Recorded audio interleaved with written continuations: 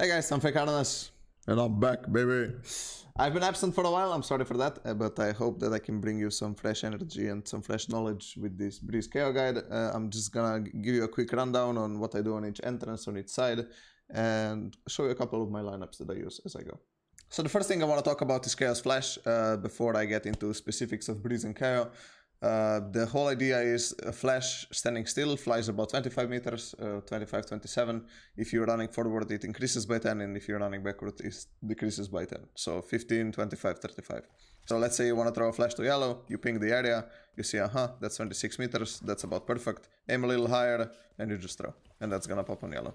So if you want to, for example, flash for double or, okay, 35 meters, time to throw, it pops right out, okay? So that's basically the entire idea of throwing flashes. If you want to wing them perfectly, that's basically how you do it all the time. Let's say you want to flash above yellow, you're on city, okay? Or like, let's say this edge. Okay, 23, 25, you throw, bang, perfect, pops right here. So that's basically the idea of how I wing most of my flashes. That's why I don't use as many lineups as many people, because like I'm, I'm just going on of it. Like it's very situational, it's hard to have lineups for every situation. Uh, but yeah, that's basically the idea behind the flash. Now let's get into specifics. Starting off, I'm gonna be on defense as uh, a defender on A. Uh, if you want to fight for A main, I have this good pop flash. You line up this line. I hope you have it. I'm not sure how it works with higher settings, but this is super low settings, and you basically just put it somewhere in this box, like above it, so anywhere on this line. So this is too much to the right because obviously it won't hit the hole but anywhere above it on this line, it basically pops in. You also have this knife, because it's hard to break, because people need to come in and then turn around and aim up.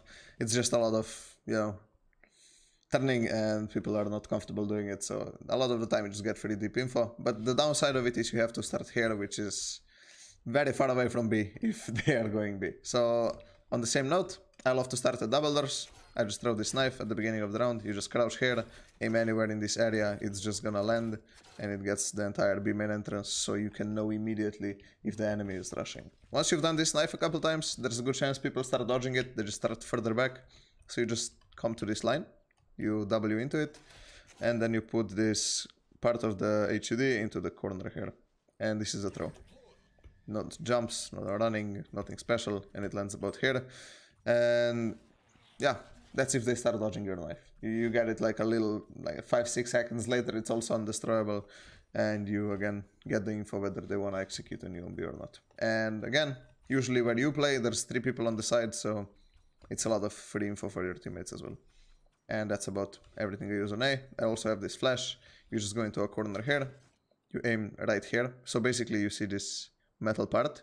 Just a little bit to the right of it, so you don't hit it, and you just throw and that goes perfectly out the double door. It doesn't get your teammates, it gets the entire bottom mid, and it's almost impossible to dodge. So that's basically all the lineups that I have. So this is the flash again. Your teammates can jump with it, pick with it, whatever they do. Jett goes for an up pick, and you gotta call this to your teammates so to just pick with it. So that's the idea, and that's basically how I start on A. There's the last lineup, knife, that I have. I don't wanna forget this. So you aim anywhere at the shadow where there's a gap, and it's just gonna land deep in A main and that's if you want to start on stairs and you just get early info if they're on A. So I use a lot of knives at the beginning of the round because they refresh to either get info on A or on B and then flashes, well, wherever you want to go for kills. Moving on to middle, I really don't like starting nest. I really don't have anything from here. The only thing you could do is maybe go wide and, you know, throw a knife down there and look for a camera, look for some arrows to break, but that's really all you can do here, so I really dislike playing here you should let Sovas play there because they do the recons and stuff. But starting tunnel is another option. Uh, you can have a pop flash down here. It basically pops here, so it gets again entire bottom middle. The only downside of this is your teammates have to dodge it, so it's hard to explain to them. But if you just run throw at the beginning of the round, so you start here where the wall is, and when the round starts, you just throw. You just run and throw up there. Like, it doesn't matter where exactly, you, you just run and throw. And it's gonna get the entire bottom mid. The knife you can also combine is this. I really don't like doing this because it's easy to break. Uh, but it's an option. Um, yeah, that's basically if your teammates want to start on middle. You don't really have any other stuff that you can offer. You can start at the back of this wall and do a run throw into this pillar, but um, it's a lot riskier because this, like if you look at this from bottom mid's perspective, people are usually aiming like this and you know if people go here they will not be seeing your flash if people start back at this wall this flash is gonna get them so that's why it's good because it doesn't get your teammates But if they start here, it already, you know, doesn't get them. So it's a risky flash to throw. But if you see some behavior from enemies, uh, if you have a read that they're gonna be on this wall, you can also just start here. And at the beginning of the round, just, you know, bounce it into this grass here and run through. That's basically it for middle. Moving on to B. Nothing special again. Unfortunately, not too many setups. The one knife I will show you is this one. Um, unbreakable. Gets the entire B main. It's super good for early info. You can also do a deep one for there, and you can hold window with it. So you just, you know, you're holding window, you throw the knife at the beginning, and if you see no one on the knife, you can just tell your teammate, yo, get deep space, and you rotate, or you can just like do this for info and just hold window. You already got a lot of pressure and information that way, so your job here is basically done. The one flash I do use, it's usually with the Viper wall that's here. Um, so you just start here at the beginning of the round. Once the wall is up, if you're retaking, you just throw it somewhere here. Like you just ping the bottom of the wall and you will have a general idea of how far you are and then just throw it through and then you can play with it. Also you have this nade and for the retake you don't really need anything special. You just wing your util most of the time. Setups are pretty overrated on Breeze to be honest, at least in my opinion. So that's basically how I play defense on Kayo. Hope this is insightful. Now let's go to attack. So since we ended on uh, B, let's start on B as well. The first lineup I have, you just go here. You aim this part of the flash into the window, and this one's gonna land in the middle of site. It's gonna land about right here, and you know, gets the entire front and back of the site. If somebody's playing close, this is unbreakable. If they're playing here, you're just gonna get info that they're here, because you know they gotta shoot it and you can hit it. Um, but you know, either way, this knife gives you a lot of value executing because you they either give away their position or they get suppressed. Normally there's gonna be Cyphers playing here, so if you suppress them you can just explode on them because their traps will be deactivated. And yeah, this knife is just let's say you wanna contact B, yo guys, go walk in, I'm gonna do a knife.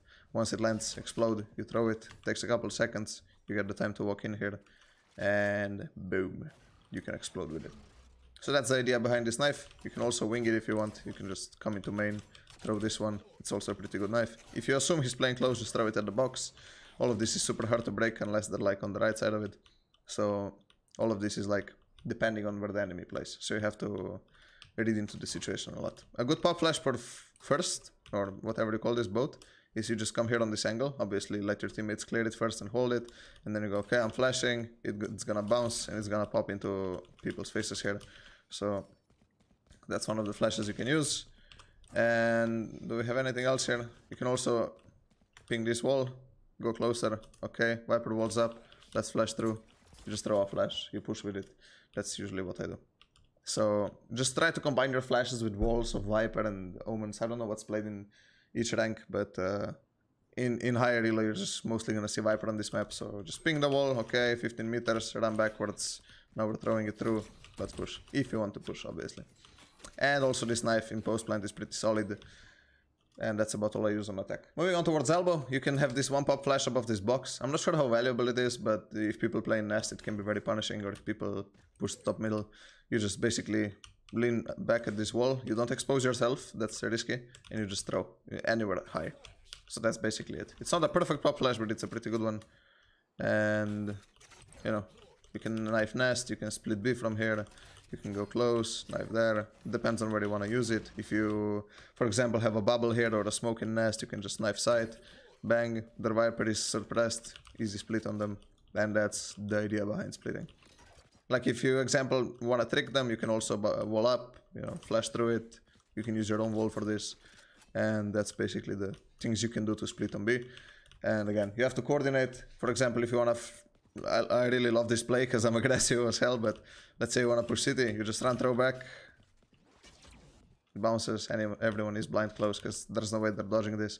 So basically, you just see this, okay, 15 meters, run back and throw, and then you run forward. In the time you get here, they're still blind. They're still blind, trust me, they are. Or you can just go close and, you know, you can do this. This is also an option. I really, I really dislike doing this, for example. Uh, going out in the same angle where you pop flash because people will, will pre-fire where they see it. So I really like doing plays like this where you just right click one corner. Just be careful if you're here, if you're standing still and right clicking, it might not go far enough. So just run forward, then throw, and then go to the other side. Or do the other way, like just do it here. Yeah, because it's not gonna get you either. That's why it's pretty powerful. Anyway, so the last thing, last two things I'm gonna cover is bottom mid, and then after that we're going into A and that's basically it. Thank you for watching so far, and if you have enjoyed so far, drop the like, drop the sub. Okay, I'm gonna stop being annoying. Anyway, the shield barrier starts here, you just bump into it and you aim at these leaves, anywhere. This is gonna get the entire double door, it gets the entire top mid. This is usually the flash I start with, basically every round, because uh, if nothing else conditioning, you get a lot of space because people can just, you know, push up on the left with it. You get this angle which is very powerful.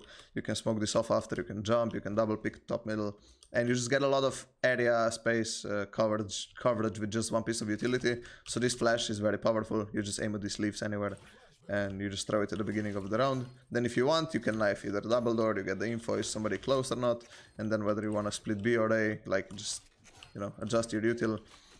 Let's say you just want to see if they're pushing middle, you can throw it down there because they cannot break it there.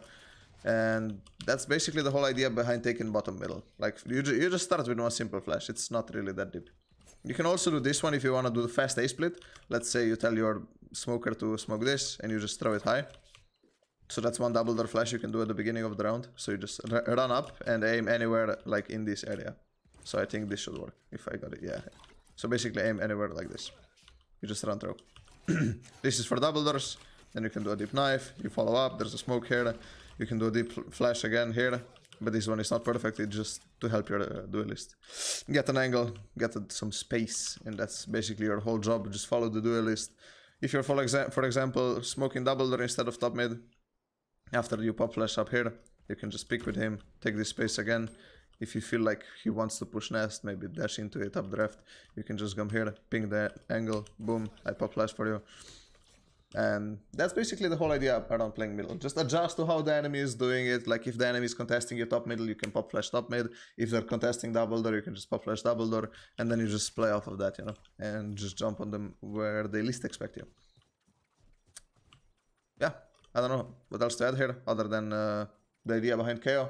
You try to kill with your utility, not pressure. So anywhere you have a chance for the people, okay, he's greedy, let's punish that guy. So try to read into the game, try to really pay attention to everything, and yeah, trust me, you're gonna go high. Anyway, the last thing I want to talk about is aiming. You start the round basically here. As the shield drops, you aim at this area. So again, in this box, so it goes uh, into the hole here, and you just aim anywhere at this and it's gonna pop behind bridge uh, bricks so basically this is a uno reverse from here. And that's the pop flash for taking A main. If they're contesting you you can just hide anti-flash throw this. You get them suppressed okay now they have no util you know. You, you, can do either. I don't recommend doing both at the same time but let's say for example you do, do a knife they already pop flashed aha bam bam. Uh, but if there's no one on the knife you just walk close you tell your Sova to drone okay you probably have the viper wall across. Now you come out break the util Oh, yo, Jett, there's a wall going down. I'll flash for you. You flash through a wall with the ping again. Just use the pings. Please, I cannot I cannot say this enough. Use the pings, use the pings, use the distance. Just like stand still and just, okay, this is 15 meters. Run backwards. I'm gonna pop flash through. Use this as much as you can. Trust me, it's gonna it's gonna make you one hell of a Kayo. At least it has made me. And that's basically all the setups I have. I have two more lineups for knives and that's gonna about wrap it. You basically come here at the beginning of the round and you use this line and this line, both on the same spot here. So this one is for middle of site and this one is for yellow. This one is hard to break if people play there, and this one is hard to break for people who play yellow. Very sharp, uh, sharp cut, I'm sorry. Uh, yeah, I'm still getting used to this. I'll try to post up as many videos as possible. Hope I brought some value into this, and I hope you enjoyed. Also, a quick reminder, I've just relaunched my Patreon, and I want to thank everybody who's currently uh, supporting me on it and who supported me in the past. Uh, Kier Optical, KP, Kili, Tala, Joshua, Jonas, Peyton, and MK. Thank you guys very much. I appreciate you all. Anybody who's watching, thank you. And yeah, I hope to do another guide in a couple of days. Uh, and I'll see you in the next one. Bye bye.